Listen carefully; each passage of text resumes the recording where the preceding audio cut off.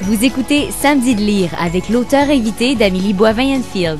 On est déjà rendu à la fin de l'émission en compagnie de l'auteur invité de cette semaine, Annie Loisel. Et Annie, ce qui s'en vient pour toi de l'écriture? Euh, oui, je suis déjà dans d'autres projets, mais euh, c'est toujours incertain à chaque fois. Mais euh, oui, je suis déjà euh, très plongée dans un autre projet d'écriture. Euh, Un autre roman? Un autre roman, oui. Oui, je vais rester dans le roman, ça c'est certain. là. C'est c'est ma branche. Là.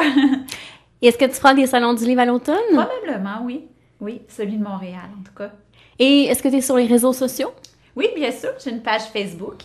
Donc, euh, les, les, Les lecteurs peuvent les lecteurs t'écrire. peuvent m'écrire sans problème. Je prends, je prends toujours le temps de répondre à tout le monde.